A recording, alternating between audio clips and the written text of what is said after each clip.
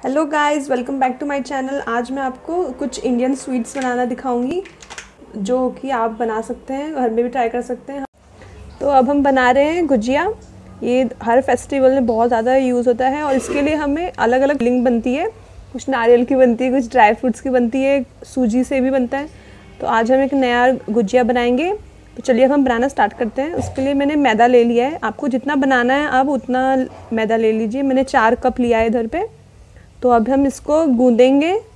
इसको अच्छा खस्ता बनाने के लिए हम इसमें एक छोटी कटोरी भर के हम इसमें तेल डालेंगे।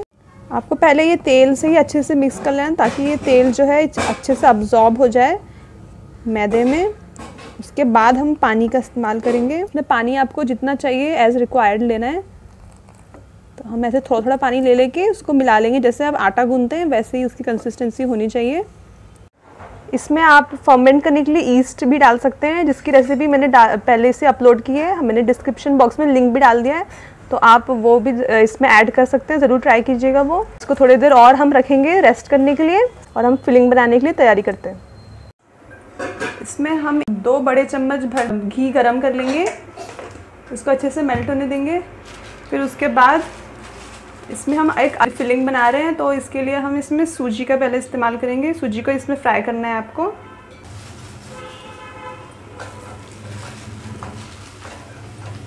इसको अच्छे से हम फ्राई कर देंगे। साथ ही में इसमें हम काजू डाल देंगे। आपके पास जो भी ड्राई फ्रूट हो, आप उसका यूज़ कर सकते हैं। इसको अच्छे से फ्राई करेंगे। जब तक ये सूजी जो है अभी वाइट है तो ये थोड़ा सा गोल्डन ब्राउन जैसा हो जाए, तब तक आपको फ्राई करना है इसको। अभी हमारा सूजी और काजू जो है अच्छे से रोस्ट हो गया, ज़्यादा ब्राउन नहीं करना है। इसमें हम साथ में अभी ग्रेटेड कोकोनट डाल देंगे। नारियल पिसी हुई, ये दो बड़ा कप भर के है। इसको भी हम अच्छे से मिक्स कर देंगे, ताकि ये भी अच्छे से रोस्ट हो जाए। रोस्ट करने से उसका फ्लेवर चेंज हो जाता है और कच्चे नारियल का फ्लेवर अलग होता है। भी आपको लो फ्लेम में रख के अच्छे से फ्राई कर लेना इसमें हम थोड़ा सा खोया भी डालेंगे और उसके बाद पिसी हुई चीनी।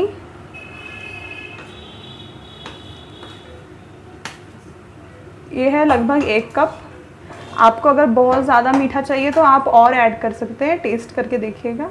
और फिर इसमें इलायची पाउडर डालेंगे और इसको अच्छे से मिक्स करके हम अच्छे थोड़ा और रोस्ट होने देंगे ताकि सब कुछ जो है एक साथ कंबाइन हो जाए।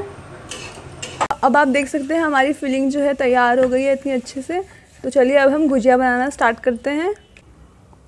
अब हमने एक पतला सा आटा बेल लिया है और इसमें हम ये वाली मशीन यूज़ करेंगे गुजिया बनाने के लिए। फिर इसके ऊपर जो हमने बेला है उसको रख लेंगे। और फिर इसमें ये फिलिंग को भरेंगे। ज़्यादा नहीं भरना है, नहीं तो ये फोल्ड करने से फट जाता है। साइड में हम पानी लगाएँगे ताकि ये स्टिक हो अच्छे से। अब इसको बंद करेंगे। और फिर जो एक्स्ट्रा पार्ट है, वो हम इसमें से साइड में से काट के निकाल देंगे। और फिर जो है, हमारी अच्छी सी गुजिया तैयार है।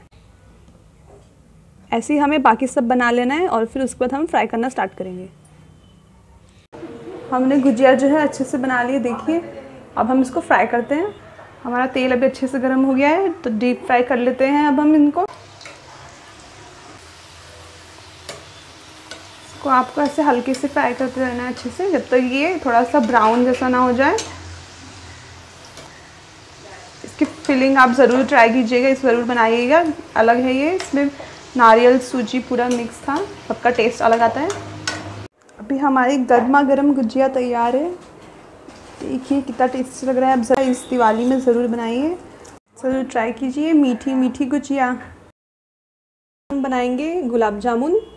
उसके लिए मैंने इंस्टेंट मिक्स ले लिया है। आप कोई भी गुलाब जामुन का इंस्टेंट मिक्स ले सकते हैं। और ये बस पाँच मिनट के अंदर बन जाता है। आपको सोप करके ज़्यादा देर रखने की ज़रूरत भी नहीं है। तो चलिए हम स्टार्ट करते हैं। मैंने फुल एक एक पैकेट ले लिया है ये। हम इसे मिक्स करेंगे। इसके लिए आप दूध भी यूज़ कर सकते हैं और पानी भी यूज़ कर सकते हैं।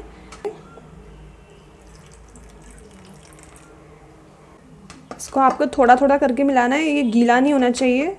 नहीं तो फिर गुलाब जामुन बनेंगे ही नहीं। आपको थोड़ा थोड़ा करके यूज़ करते रहना है और इसको एक अच्छा सा डो बना देना है। तो आप देख सकते हैं, अभी हमारा डो एकदम रेडी है।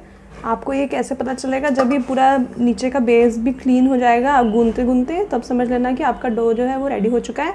तो अब हम इसको रोल कर लेंगे छोटे छोटे बॉल्स में। उसके बाद हम उसको आगे का प्रोसेस करेंगे। तो चलिए अब हम रोल कर लेते हैं।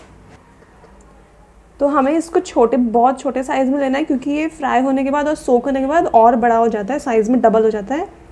तो हम इसको ऐसे ही अपने हथेली में लेके इसको रोल करना है हमको। एक सर्कल शेप देना है। इसमें निशान ज़्यादा नहीं होने चाहिए, नहीं तो वो फट जाता है। तो अब हमने ऐसे गोल कर लिए। आपको सारे ऐसे छोटे छोटे गोलों में आपको गोल कर लेना है। तो आप चाहे तो इसका साइज़ बड़ा या छोटा कर सकते हैं। तो अब हम इसको थोड़ा रेस्ट करने के लिए साइड में रखेंगे और तब तक हम इसके लिए सिरप बना लेते हैं। चाशनी के लिए मैंने यहाँ पे एक बड़ा बर्तन ले लिया है, जिसमें मैंने तीन कप पानी डाल दिया है और उसी कप के हिसाब से मैंने चीनी एक कप ले लिया है। और मैंने साथ में इसमें इलायची भी डाल दी है कूट के। आप ये चाहे तो डाल सकते हैं, नहीं तो नहीं भी डाल सकते, इससे अच्छा फ्रेगनेंस आता है। तो अब हम इसको डाल देते हैं इसके अंदर। आपको अगर ज़्यादा मीठा चाहिए तो आप और ज़्यादा चीनी डालिए। आप टेस्ट कर करके इसमें चीनी और ऐड कर सकते हैं, अगर आपको कम लगे तो। अभी आप देख सकते हैं, हमारी चाशनी एकदम रेडी हो गई है। चीनी जो है अच्छे से मेल्ट हो चुका है और इसमें से बबल्स भी आ रहे हैं। तो अब मैं इसको, गैस को बंद कर देती हूँ और इसको साइड में हम रख देंगे। और मैंने साइड में डीप फ्राई करने के लिए तेल गरम करने के लिए रख दिया है। तब तक, जब तक हमारा तेल गरम होता है, तब तक हमारा सिर्फ़ ठंडा हो जाएगा। फिर हम जल्दी से इसको फ्राई करके और इंस्टेंटली खाने लायक गुलाब जामुन अभी तैयार हो जाएँगे। तो अभी हम इस तेल को अच्छे से गर्म होने देते हैं। अभी हमारा तेल अच्छे से गर्म हो गया है। इसको अब, अभी हमें मीडियम फ्लेम में फ्राई करना है। तो चलिए अब हम इसको साइड में से डालना स्टार्ट करेंगे। आपको इसे मीडियम फ्लेम में करना है, नहीं तो फिर अगर आप हाई फ्लेम में करेंगे तो ये अंदर से कच्चा रह जाएगा और बाहर से जल्दी पक जाएगा। ऐसे आपको थोड़ा थोड़ा डाल के इसको फ्राई करना है। साइड से आपको ऐसे ऑयल इसके ऊपर फेंकना है। नहीं तो ये टूट भी सकते हैं। अभी आप देख सकते हैं हमारा गुलाब जामुन कितने अच्छे से फ्राई हो रहा है। तो इसमें आपको जो डार्क कलर वाले हैं वो हम निकाल लेंगे। क्योंकि चाशनी में जाने के बाद उनके कलर जो है और लाइट हो जाते हैं। तो आपको थोड़ा डार्क रखना है। अभी आप देख सकते हैं, मैंने सब फ्राई कर लिए, अभी मैंने फ्राई करके ही, अभी ही निकाला है। तो इसको हम जल्दी से हम चाशनी में डाल देंगे। चाशनी भी हल्की हल्की गर्म है और ये अभी भी गर्म होकर फ्राई होकर निकले। तो आप जैसे फ्राई होकर अगर आप इसको जल्दी से डालेंगे तो ये दो मिनट के अंदर खाने लायक बन जाएगा। नहीं तो आपको इसको सिरप में डाल के एक दो घंटा रखना पड़ता है। पर ऐसे करने से आपको इंस्टेंट गुलाब जामुन मिलेंगे, जो आप जल्दी से तभी के तभी खा सकते हैं। तो हम इसको सब डाल देंगे सिरप के अंदर। थोड़ा अच्छे से हिला देंगे ताकि ये चारों तरफ़ से कोट हो जाए अच्छे से।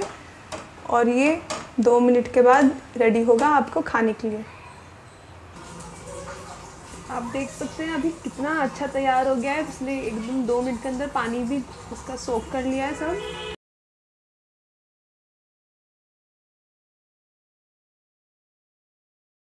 हमारा गुलाब जामुन अभी परफेक्टली रेडी है। आप ऐसे ही इसको इंजॉय कीजिए और इस फेस्टिव सीज़न में ज़रूर बना के ट्राई कीजिएगा। हैप्पी दिवाली